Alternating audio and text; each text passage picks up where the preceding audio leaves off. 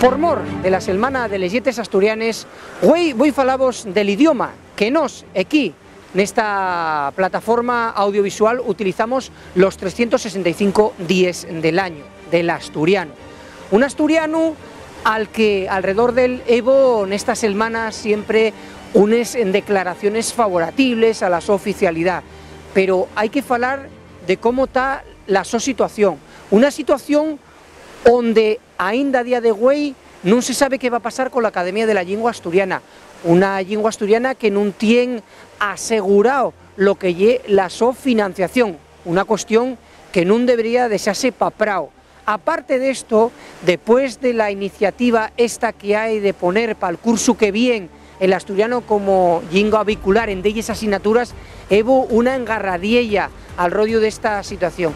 Quiero decir con todo esto que el asturiano ainda tiene que dar muchos pasos, pero sí hay que ser positivos, porque a día de hoy, a este año 2017, los pasos que dio el nuestro idioma son per importantes. Lo que sí me prestaba contavos y que a pesar de todos esos palos nerruedes que quieren poner los más rocianos para el idioma, que lleven poniendo los 40 años, podría decir que un siglo o varios siglos, como diría aquel eh, episodio de Juego de Tronos, oficialidad is coming.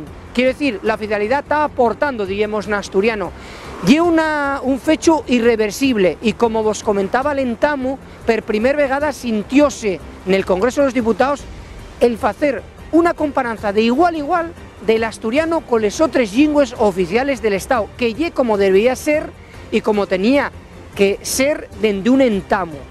Vamos a ver cómo se desenvuelven los acontecimientos. Si estaremos aquí siempre soyertes, nalderiques de Asturias. ¿Y cómo estamos soyertes? Pues trabajando los 365 días del año por el asturiano y con el asturiano como lengua vehicular.